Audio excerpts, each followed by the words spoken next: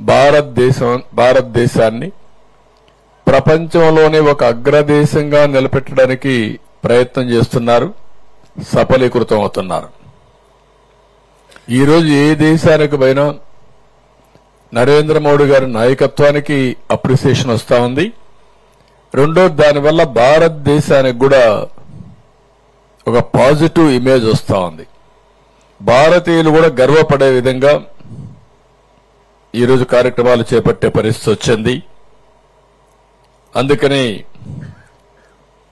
రాబోయే రోజుల్లో మనం చూసినప్పుడు పదకొండవ ఆర్థిక వ్యవస్థగా ఉండే ఆర్థిక వ్యవస్థని ఇప్పుడు ఐదో ఆర్థిక వ్యవస్థగా తీసుకొచ్చారు. తొందరలోనే మూడవ అతిపెద్ద ఆర్థిక వ్యవస్థగా తయారవుతుంది. ఇది కాకుండా vision Viksit Bharat two zero four సెవెన్తో నాకు ఏమాత్రం మనం లేదు. ఏ మొదటి ప్లేసు రెండో ప్లేస్ భారత భారతదేశానికి వస్తుంది. ప్రపంచంలోనే భారతీయులు నెంబర్ వన్గా ఉంటారు. భారతదేశం కూడా number one or number two రావాలి. కష్టపడితే నెంబర్ వన్నే వస్తాం. అలాంటి అనుకూలమైన పరిస్థితి నేను చాలాసార్లు చెప్పాను. ఈ దేశానికి ఫస్ట్ మూవర్ టెక్నాలజీ అడ్వాంటేజ్ తీసుకున్నాం. ఆ టెక్నాలజీ అడ్వాంటేజ్ ఈరోజు మీరు చూస్తే ఆర్టిఫిషియల్ ఇంటెలిజెన్స్ వరకు వెళ్ళింది.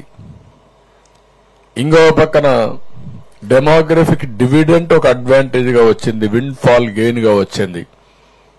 ఇది రెండు వేల నలభై ఏడు వరకు ఉంటుంది. అన్ని దేశాల్లో ఏజింగ్ ప్రాబ్లం వెంటాడుతూ ఉంటే భారతదేశానికి మాత్రం ఈరోజు ఒక జనాభా యంగ్స్టర్స్ ఒక అవకాశంగా కలిసి వచ్చింది.